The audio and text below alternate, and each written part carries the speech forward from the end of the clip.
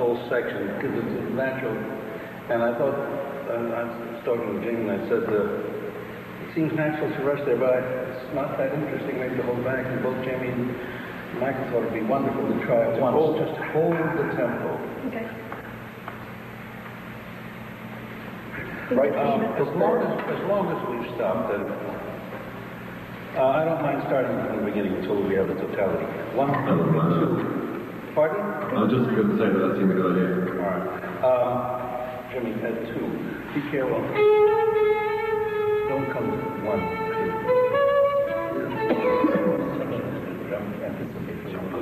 One. I think sextets are incredibly difficult to play uh, because sometimes you have to be part of an orchestra, sometimes you're a soloist, sometimes you have to play under somebody, sometimes you have to be part of a group sound, and to be able to be unbelievably aware of everything that's going on, to have a picture of the whole, and to know exactly what your role is at any one moment is very difficult.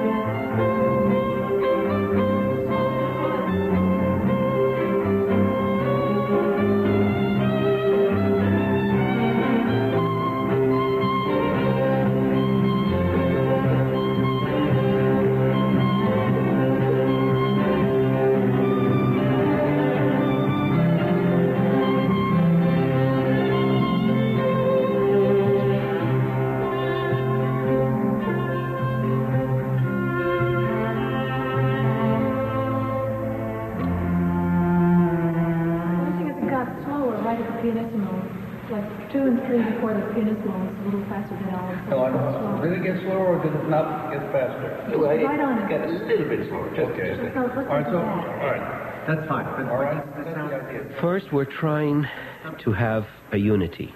Then we're trying to see, all right, what are we going to do with this incredible piece of music? Most of the time, there was just no very little to, to discuss. But when there are differences of opinion, then that's when the work comes in. And we can get very philosophical and, and very musicological and all that. But in the final analysis, you pick up the instrument and you say, here, this is what I mean.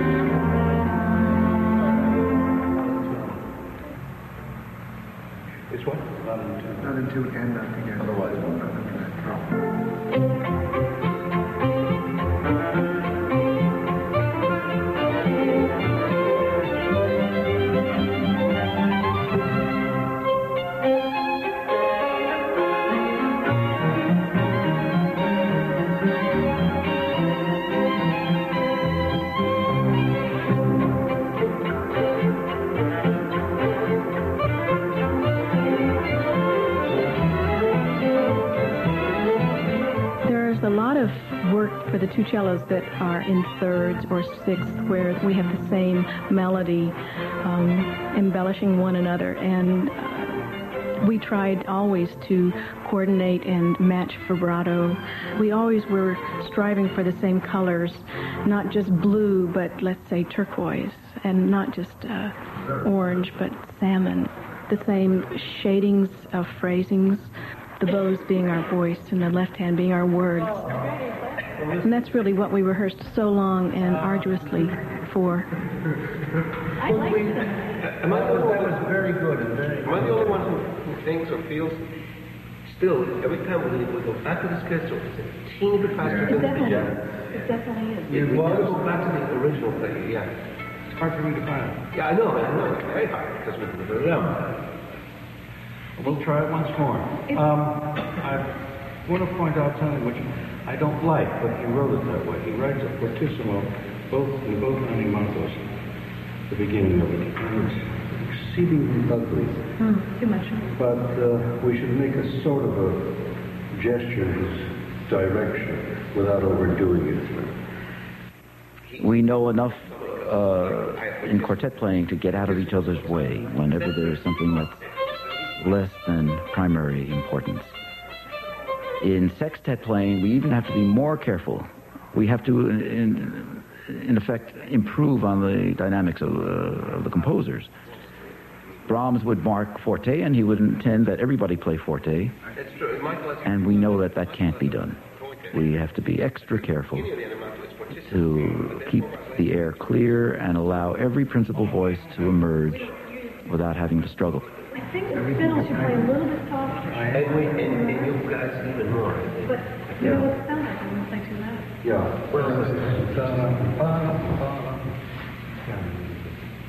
How about don't worry about it? Oh, we're playing it out there.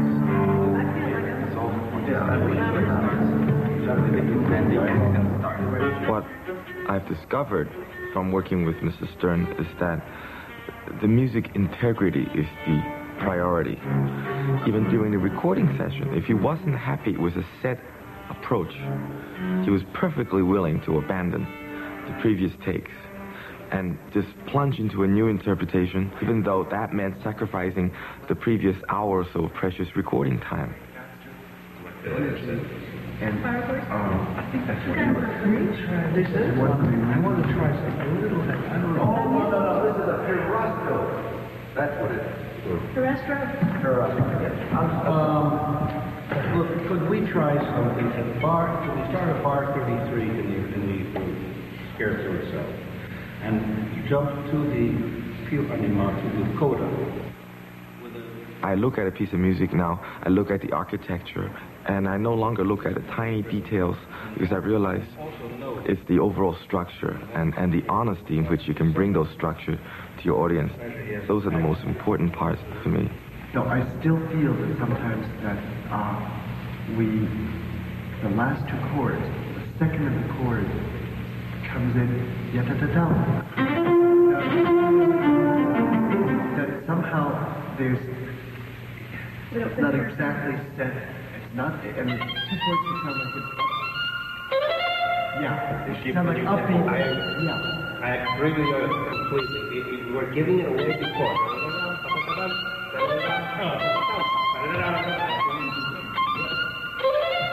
That's, yeah, let's practice that, let's practice that.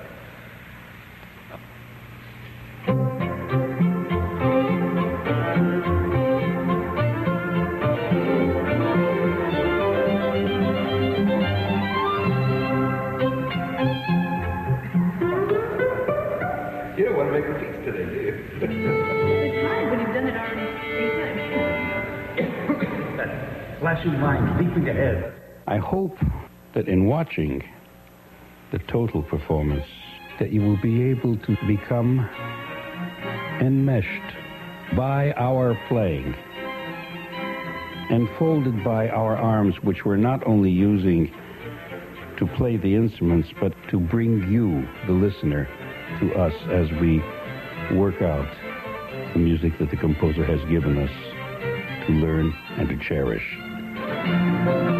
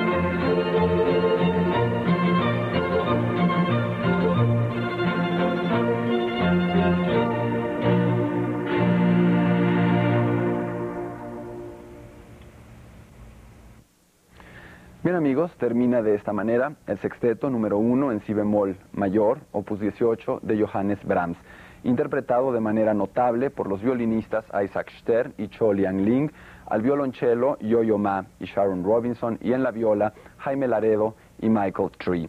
Así como en el primer segmento de este programa, previo al eh, inicio en el que se puede ver la sesión de preparación, de discusión, de ensayo antes de grabar la obra. En ese momento platicamos sobre las dificultades propias de la música de cámara, los acuerdos, las concesiones, la dificultad que hay que sortear para lograr una interpretación como la que acabamos de escuchar. Ahora me parece interesante hablar un poco acerca de la obra en particular que hemos tenido la oportunidad de escuchar, el sexteto número uno de Brahms. Este sexteto, escrito en 1860, cuando Brahms tenía 27 años, es posterior al rompimiento con Agatha von Siebold por parte del compositor, una relación intensa, tormentosa que inexplicablemente para los biógrafos no desembocó en un matrimonio. Brahms mismo dice que este sexteto, así como el que le sigue en la producción camerística del compositor, obedecen un poco al recuerdo y también al esfuerzo de exorcizar, de conjurar el recuerdo de esa relación.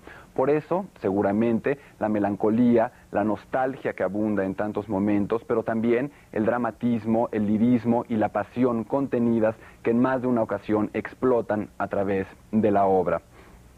Creo que también es importante mencionar cómo en este sexteto diferentes aspectos, diferentes influencias o formas de hacer música coinciden en la partitura.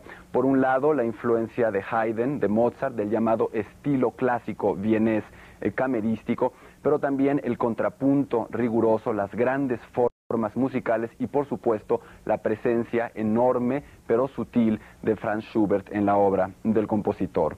Soy Gerardo Kleinburg y me despido de ustedes, no sin antes invitarlos a que nos acompañen en una emisión más de El Espectáculo Sin Límites. Hasta la próxima semana.